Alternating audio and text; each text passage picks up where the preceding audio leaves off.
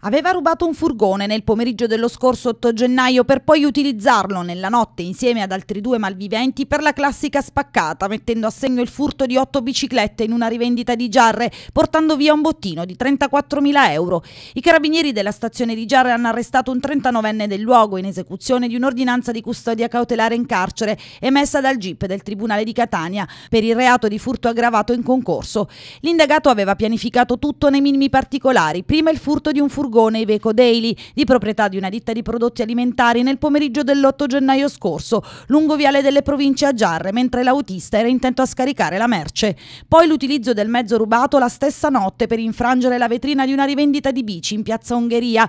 Il 39enne a volto scoperto intorno alle 3.30 ed altri due complici, che invece erano a volto coperto dopo la classica spaccata, sono riusciti a rubare 8 bici per un valore di circa 34.000 euro.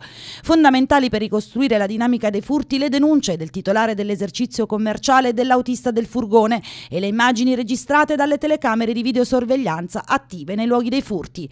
Ad inchiodare il 39enne lo scorrere delle immagini che lo vedono protagonista sia nel furto dell'Iveco che in occasione della spaccata, dove perpetra il reato sempre a volto scoperto. Condizione che consentirà ai carabinieri di identificarlo e fornire al magistrato della Procura della Repubblica Etnea, titolare delle indagini, un quadro probatorio completo che ne ha consentito l'arresto. I due complici invece sono in fase di identificazione. L'uomo, assolte le formalità di rito, è stato trasferito nel carcere di Messina Gazzi.